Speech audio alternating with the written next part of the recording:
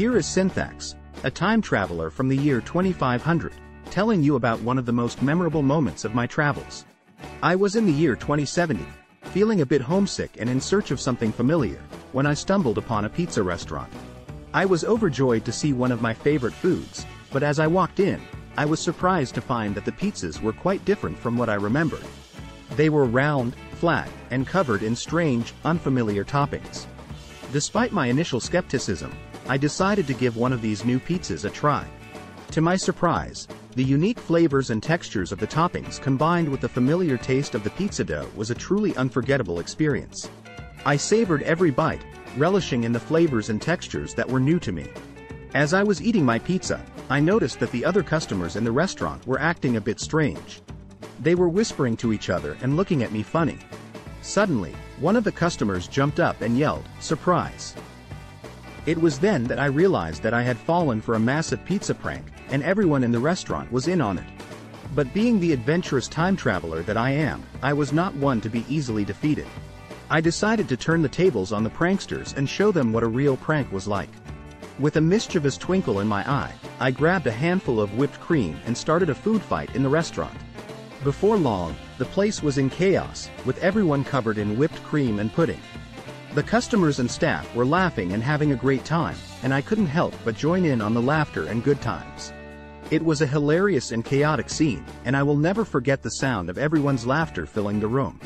As it turned out, the restaurant was owned by one of my old friends from my own time, who I had not seen in years. When he saw me, he was overjoyed and couldn't believe that I had traveled through time to visit him. He explained that he had been struggling to keep his restaurant afloat and that the prank was his way of trying to bring some excitement and laughter to the place. My friend was so grateful for the unexpected turn of events and how it had brought new life to his restaurant. The Great Pizza Prank of 2070 was a moment in history that I will always treasure.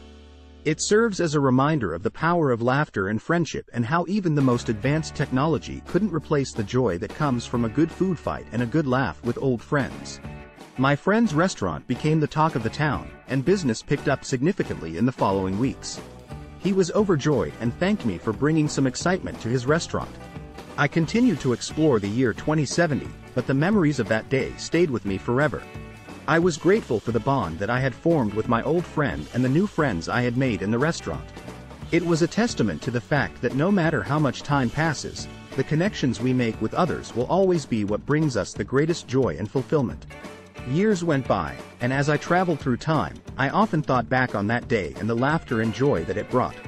I realized that the great pizza prank of 2070 was not just about the food fight and the laughter, but about the bonds that were formed and the memories that were made. It was a reminder of the power of laughter and friendship, and how even the most advanced technology couldn't replace the simple pleasures in life. As I traveled through time, I encountered many amazing and incredible things, but the memories of that day in the pizza restaurant always stuck with me. I was grateful for the experience and the relationships that I had formed, and I felt a renewed sense of purpose in my travels. I continued to explore the future, discovering new technologies and advancements, but I always remembered the importance of the simple pleasures in life. I made it a point to seek out opportunities to connect with others and to bring laughter and joy wherever I went. One day, I was transported to the year 3000, and I was struck by how much the world had changed. The technology was beyond anything I could have imagined, and the advancements in science and medicine had completely transformed the way people live. But despite all of these incredible advancements, I was heartened to see that the power of laughter and friendship was still just as strong. People still gathered together to share stories, to laugh, and to enjoy each other's company.